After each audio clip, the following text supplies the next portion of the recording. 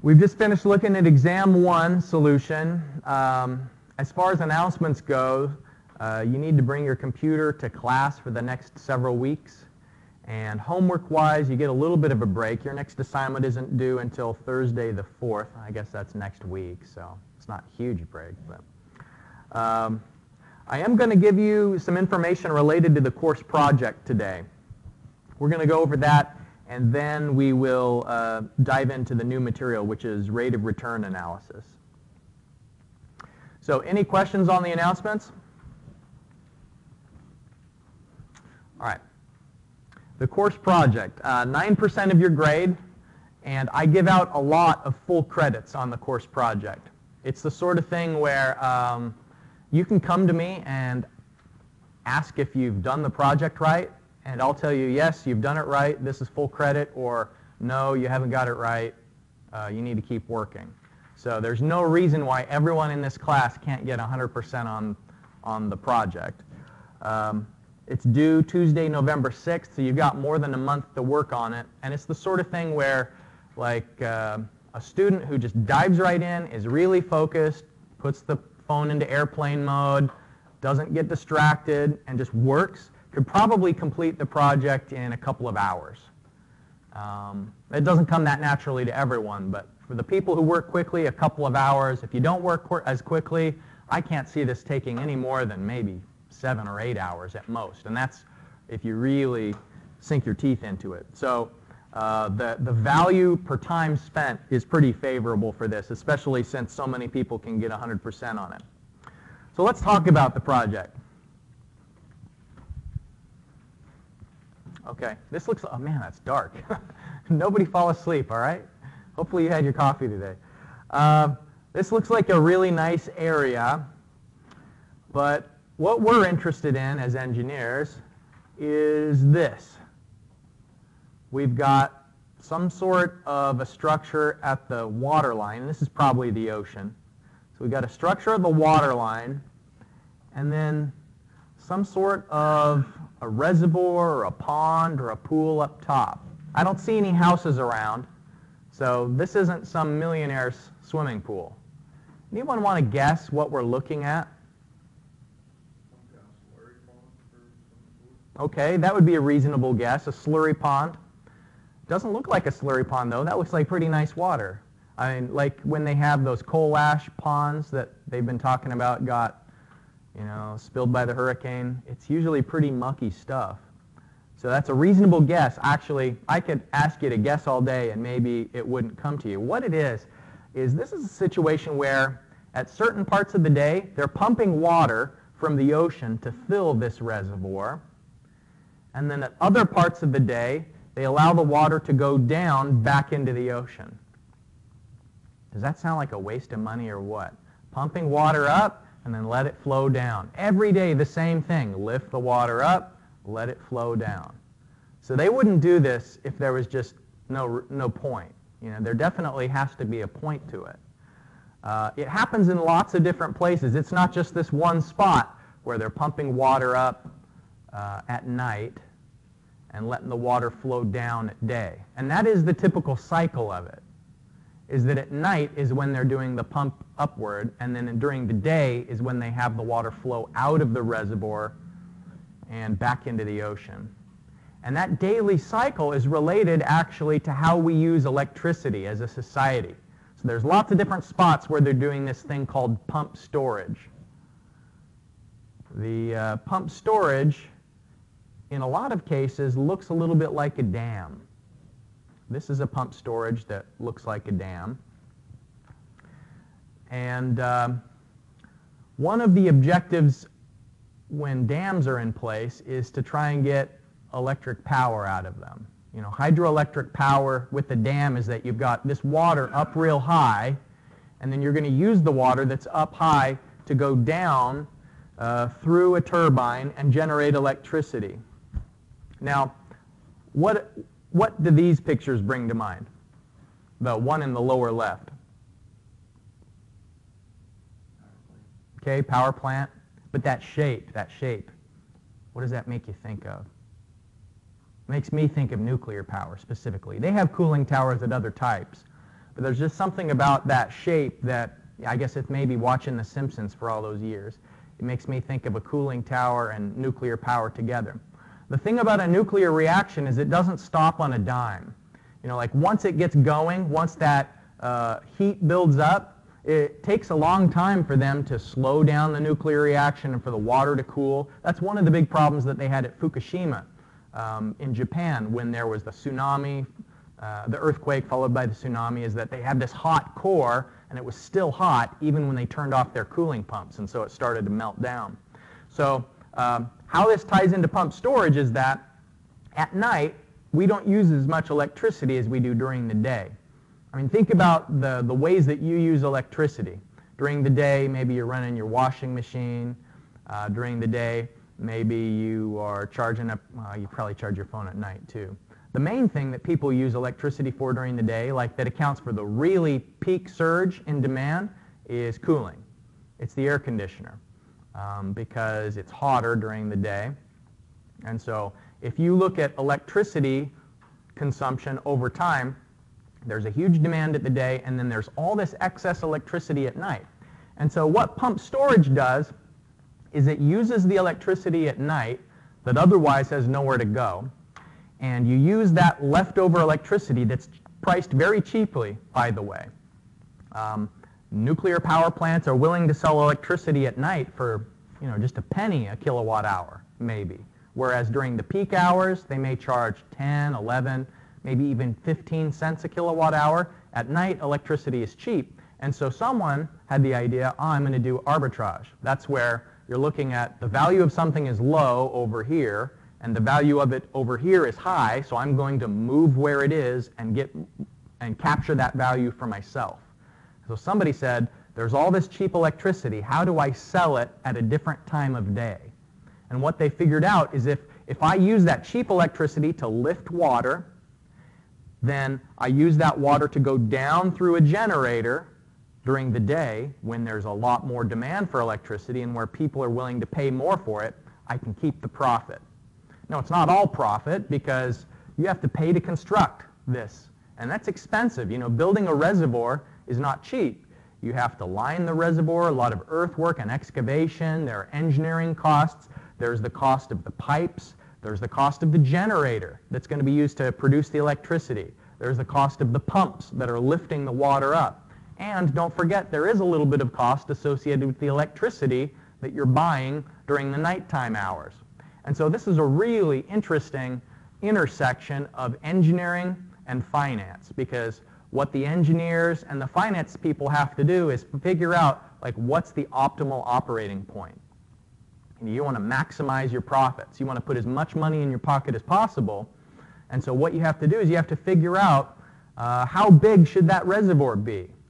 Should it be a relatively small reservoir like this? Well, it depends on how many people are on the island. It maybe depends on how much demand there is. It depends on the difference between the daytime price and the nighttime price. It depends on how much you're paying for pipe it depends on the cost of the power plant, on the cost of the pump, and so on. So what you're going to do in this project is you've got some hypothetical pump storage opportunity, and, we have, and that means that there's an elevated reservoir, and the water flows through a pipe. At night, it flows uphill. During the day, it flows downhill. And in the assignment I'm going to give you, I tell you how many hours there are during the daytime how many hours there are at night because the water flows uphill during a certain period and flows downhill over a different number of hours each day. So it's not 12 and 12, it's 10 and 14. Uh, so there's a pipe here and a pump that's used to lift the water. The power plant is in the same building. It's just essentially the pump in reverse where you're generating electricity. And there's a formula. Now, none of you have taken fluid mechanics yet. I'm teaching fluid mechanics this semester.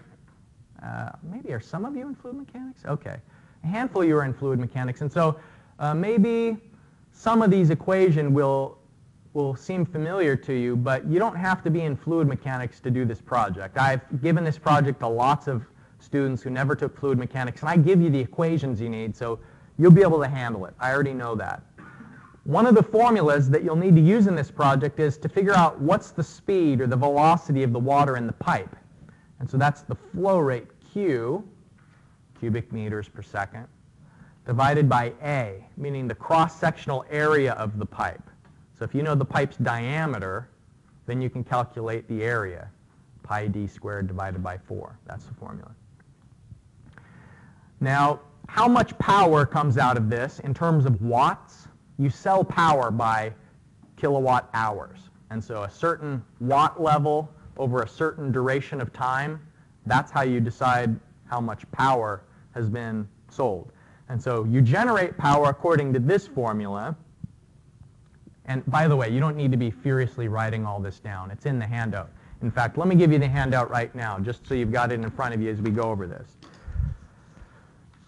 It's not a bad idea to be taking notes, but I do give you some of these formulas on your uh, handout paper.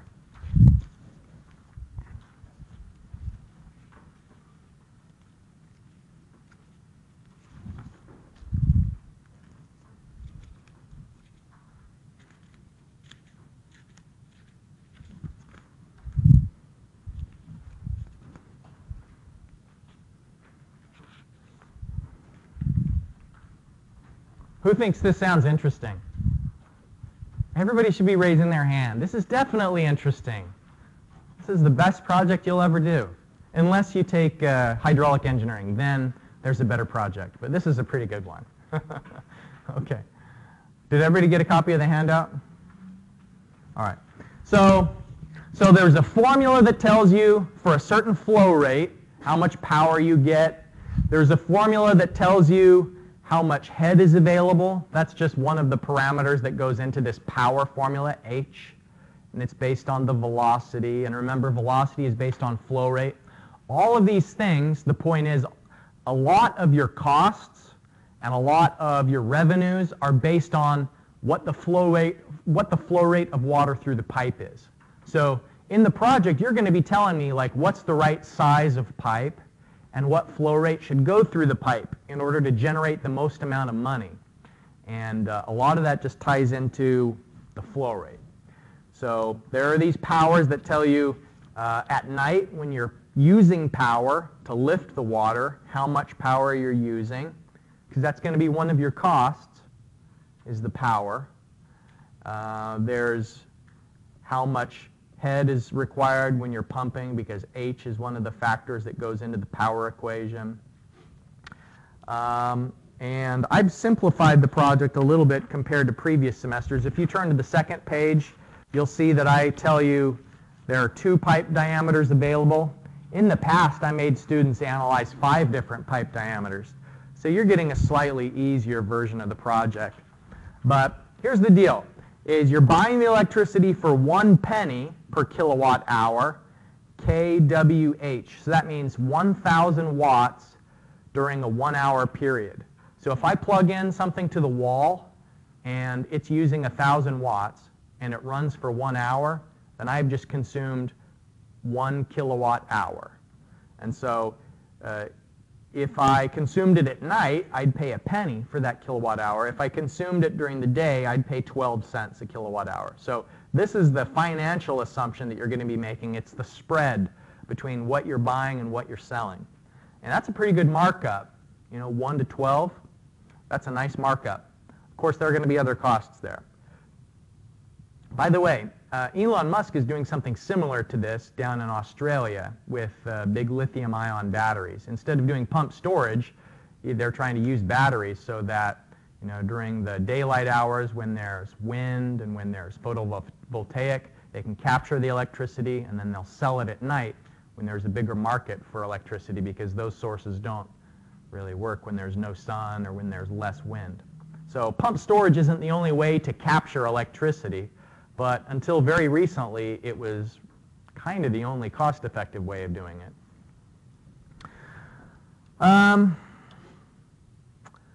so I'm going to ask you to figure out when the diameter is one meter, what flow rate will produce break even. And by break even, that means the, uh, the revenue is equal to the costs. And there are two break even points. There's the first break-even point, which is a low flow rate, and the second break-even point, which is a high flow rate. Um, and then part B is looking at, for a certain flow rate, then um, what is the, uh, the present value for all the pipe diameters. All right, um, let me point out one other thing on the handout that I've given you, and that is this getting started page, the last one. See the one that says getting started? This probably, like, so far you may be thinking, I just don't even know where to begin on a project like this. It may seem overwhelming. And to help it seem a little bit more natural and help you figure out how these equations work, what you need to do is go through these questions, A through R, on the handout and solve them on paper. And I insist that you solve it on paper. You can't solve it on the uh, spreadsheet, not yet. This first part you have to do on paper. And um, at the end, you'll see that I have an answer for J and an answer for R. If you do all your calculations right, you should get these same exact answers. And the, the point of this is for you to be able to set up the equations on paper and kind of figure out how they work. And then later on, you're going to be able to translate that to the computer. Because I'm asking you to try a lot of different flow rates and rather than do that over and over and over by hand, it will be so much easier just to have it in the spreadsheet. But first, I want you to, to know that you can do these calculations right because if you have these answers on paper that you're confident in, that I'll, I'm happy to verify that you've done it correctly, then you can take those same values into the spreadsheet you design and check to make sure that you have everything, all the equations set up uh, correctly in the spreadsheet. So if you want to get started on the project, the first place to begin are these calculations on the Getting Started page. And then once you've done that, you can begin to translate those same formulas into Excel. Okay, so that's all I'm going to say for now on the project. If there are some questions that come up, we'll definitely have time to continue to discuss it over the coming uh, weeks. All right, so on the project, on the screen now is uh, a food truck, uh, Disco Dogs. I actually looked up this food truck, and I looked up some information because I think it's a uh, it's an example that people can kind of relate to. I went to uh, Portland a couple of years ago, and they have several city blocks that have nothing but food trucks. Like here in Huntington, there's the coffee one that parks over in Hal Greer. And sometimes there's like a, a, hamburger food truck over by the student center, like Steak and Shake. But we don't have as many as Portland. Portland, there's hundreds, and they're awesome. They've got every kind of food you can think of. So I really like food trucks a lot. Um, but they're tough business because the truck itself costs about $85,000. And it's, it's not just the vehicle. What you're paying for with that $85,000 is like the, uh, the stove and the fire uh, suppression system, and uh, you know, it, there, there's a lot of kitchen implements inside there that drives up the cost. Um, so I looked up the menu of this Disco Dogs, and they charge $8.50 for a hot dog, and people will pay it. You know, it's hard to believe, right? Like I thought Hillbilly Hot Dogs was kind of overpriced, but 8.50 takes it to a whole new level for the Lucky Chucky. Um, so the question is, let's say that you wanted to go into business. You feel like an entrepreneur. You know, you've got on the one hand people who are insane and are willing to pay 8.50 for a hot dog, and on the other hand, you've got this big expense, $85,000 to get started if you want to buy a food truck. Uh, the question, one of the first ways to analyze a business opportunity like this is how long does it take until you've broken even? You know, how long until you've covered the costs? So that's what our in-class example today is going to go through is a step-by-step uh, analysis of the break-even time to just kind of illustrate that before break-even, you haven't covered the cost of your loan and you're, quote, in the hole, end quote, you know, that, that you're in debt. After break-even, you've received enough revenue that you've retired that initial investment and now any additional funds are kind of going towards the profits. So to do that analysis, what we're going to calculate is something that we'll call unrecovered investment balance.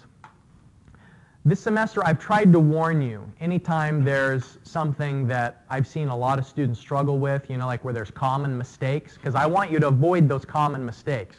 Uh, this phrase, unrecovered investment balance, is something that students consistently struggle with. And so I don't want you to just jump over it and assume that, oh, this is just another vocabulary word that I don't really need to know. This is a really critical and important phrase. And if you don't absolutely understand what it is at the end of today's class, then you need to go back through the text, and you should anyway, but especially if you don't understand it at the end of today's class, you need to uh, dig into the textbook and really uh, understand what unrecovered investment balance means. Just as the broad strokes, what it means is when you first invest $85,000, you can think of your ledger as being negative 85,000. But then what happens is that actually that negative 85,000 gets bigger because interest is accumulating. And so hopefully you'll make some revenue, but temporarily the unrecovered investment balance increases each year due to uh, the accumulation of interest. So here's a graphical representation of what I was just saying, that we begin with, we spent $85,000. Now, that 85,000 is that an inflow or an outflow? It's an outflow. Right, that means the money's going out. And in the past, when we've done cash flow diagrams, we'd represent that with an arrow downward. This isn't a cash flow diagram. This is a diagram of something else. So don't be thrown off by the fact that the line is above the horizontal axis. It's above the horizontal axis because that vertical axis is called unrecovered investment balance. So it's already, by virtue of the label that's on that axis, it's assuming it means debt. How much debt do you have? So in, we, in our mind, we know that we're, this is talking about negative numbers. We know that in our mind. And we know that if we'd drawn a cash flow diagram, it would look like this. We'd have a single outlay at year zero, and then we'd have lots of revenues over time. This is the cash flow diagram. This is a diagram of unrecovered investment balance. So it means you made an investment, but your business hasn't paid you back yet. So what happens is that that initial outlay is maybe 85,000 and then during the first year the amount of the unrecovered investment balance is going up because of interest. And so at the end of the first year you have an even bigger unrecovered investment balance. But then you get your revenues for the year. And in one big lump sum, that brings the unrecovered investment balance down a bit. But then interest accumulates again. You get your revenue, it brings it down. So there's this cycle of each year you're operating the business, earning revenue, and it's paying down the unrecovered investment balance. So a couple of labels here that you need to know what they mean. R is revenue. So where it's saying R minus E, you know, this arrow, the size of that arrow is that however much revenue you had during the first year minus your expenses for the first year.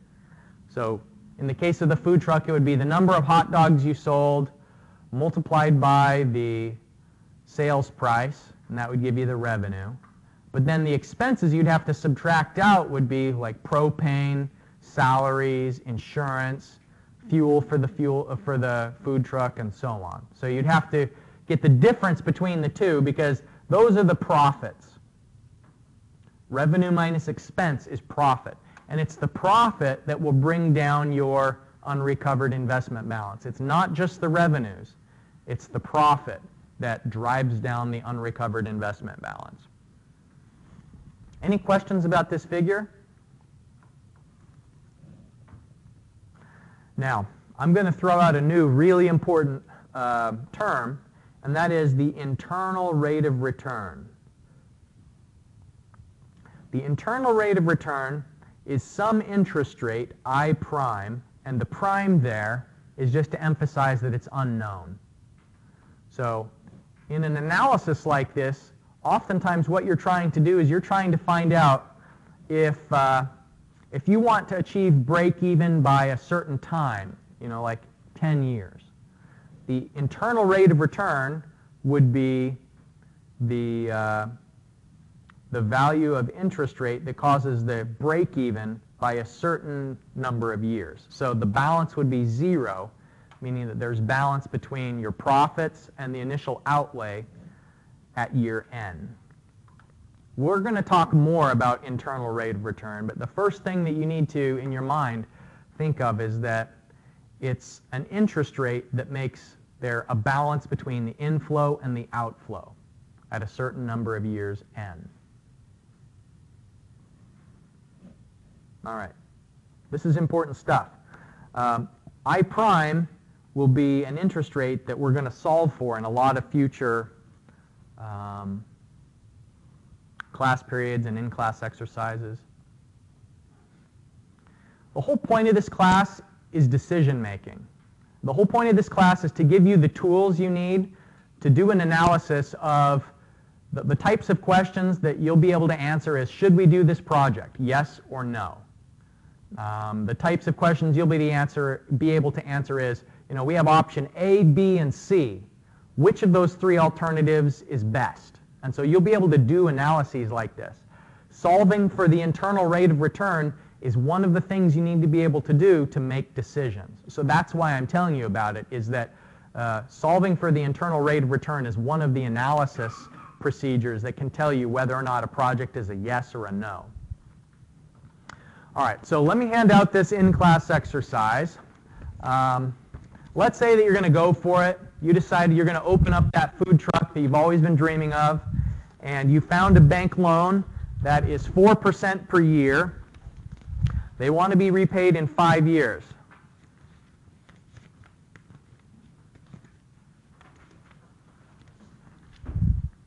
So what I'd like you to do is draw a cash flow diagram for this scenario.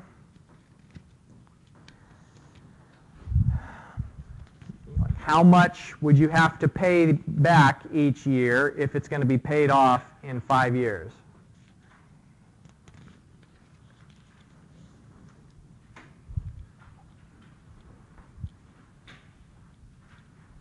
That's step A. A is draw the cash flow diagram. B, you'll notice on the back side of the paper is the 4% table. So find out how much the loan repayment needs to be to pay it back in five years. And then in uh, part C is where you're going to use the computer. That's why I asked you to bring your computer today. So that you can set up Excel similar to the template that I've given you. And you'll notice that there are column numbers. And then below the table is the formulas that you'll need to solve the value in each column. So I'm not going to give away too much. I mean, I think between the title of the column and the formulas that I've provided, you should probably be able to get a pretty good head start on what this is. And of course, I'm going to go over it. I'll put it up on the screen. But uh, once you solve the amounts in the table, then that'll allow you to fill in the blanks in the schematic diagram on the back. All right. So you are uh, welcome to work with your classmates on this, you know, talk through it together. If you didn't happen to bring a computer with you today, then you'll maybe need to look over the shoulder of your classmate as they as they do it.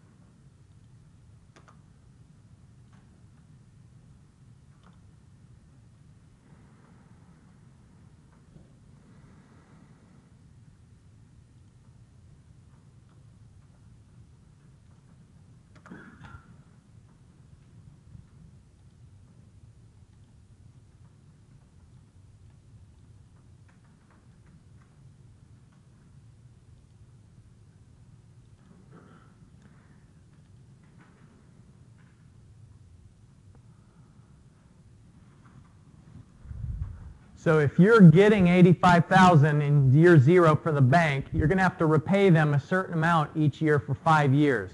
What this analysis is illustrating is of that repayment that you're doing, uh, how does it end up that you have zero balance at the end of it? Like what's the split between principal and interest? Um, so the first part is figuring out the amount of the payment. So $19,093.55 is how much you have to pay each of those five times. So let, let me demonstrate from the beginning uh, what this analysis is showing. So first of all, we have $85,000 that is our unrecovered investment balance at the beginning. So the interest during a one-year period is going to be 4% of the 85,000. So during the one year from when you first receive the money till the first payment is due, what that means is that the interest is 4% of the beginning unrecovered investment balance at the, at the start of the year. So that means at the end of the year, there's the original amount you borrowed and the interest that is accumulated. So that's how much you owe at the end of the year, right before you make your first payment.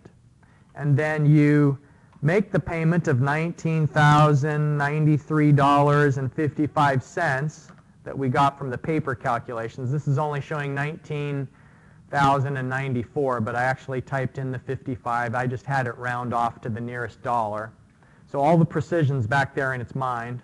The computer doesn't have a mind. In the memory. Now how much of that goes towards principal? Well, what we have to do to figure out the principal amount is we need to find the difference between what was the payment and how much interest accumulated during that year. So that means that 15,000 goes towards uh, the principal because anytime you make a payment, some of it is for principal, some of it is for interest. And so then the unrecovered investment balance is the previous unrecovered investment balance at the beginning of the year minus how much principal went towards covering that. So that means at the end of the year, the bank has yet to recover $69,306. You know, the 3,400 was just the amount that they got during the one-year period. But they're still, remember, they want to recover the principal and interest. And so this shows you how you can uh, find the balance of how much of the overall payment goes to the interest and how much of it goes to principal. Okay, now what it says is that for, for next years after the first year, then the unrecovered principal balance at the beginning of the year is the same thing as the unrecovered principal balance at the end of the previous year. So the end of year one is the same as the beginning of year two. Now, this is really nice. What we can do is we can just drag everything else down like this. And since we anchored the reference up to the interest rate, everything is just going to automatically calculate for the next row that we're on, all the way through to the end of the analysis.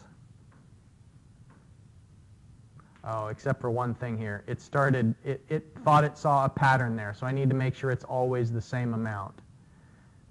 So let me change that slightly so that it's the same amount every year. And what it shows is that by the end we get to an unrecovered principal balance that's effectively zero. It's not exactly zero because, remember, I found this payment amount by using the factor tables. And the factor tables aren't exactly precise. So it gets me pretty close to zero, but not all the way. But what it basically shows is that the loan has been repaid at the end of the five years. You know, that's what the cash flow diagram said, was that we have some inflow at year zero, we make payments, and then uh, it all balances out. This shows in detail how it balances out. So then there's that figure. And these are the blanks that you should fill in. It comes from the table. So the concept here is that the amounts, um, sorry that scanned in so weird. The amounts start at the 85,000 unrecovered investment balance, and it, it goes up a little bit because of interest during the year. And so it peaks out at 88,400. But then when we make the payment of 19,000 some odd dollars, that brings the unrecovered investment balance down. And this is all from the perspective of the bank because their investment was giving you a loan. And so this is the bank's perspective. When you make a payment to them, their unrecovered investment balance goes down because they've recovered something. Every time you make a payment, they're recovering some of their original investment.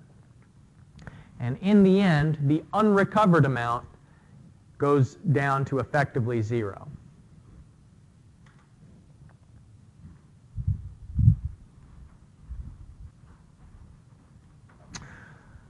I would suggest that you uh, save this file.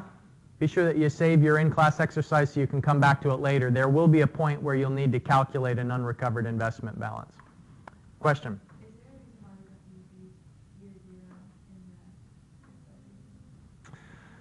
Yeah, so why did we start with year one? Um, because the beginning of year one is zero. And so the reason why we don't have it is that in different columns I'm saying the beginning, the beginning of the year and the end of the year. And so that's a good question. I'm glad you asked that. Let's draw the cash flow diagram again. From the perspective of the bank, it would be that they gave money and then there was these series of inflows. All right. And the way that we label time here is 0, 1, 2, 3, 4, 5. And so what this is, is this is the first year. And then this is the second year. And so the first year starts at 0 and ends at 1. And so here in this diagram, what we're saying is uh, year 1 is that time period.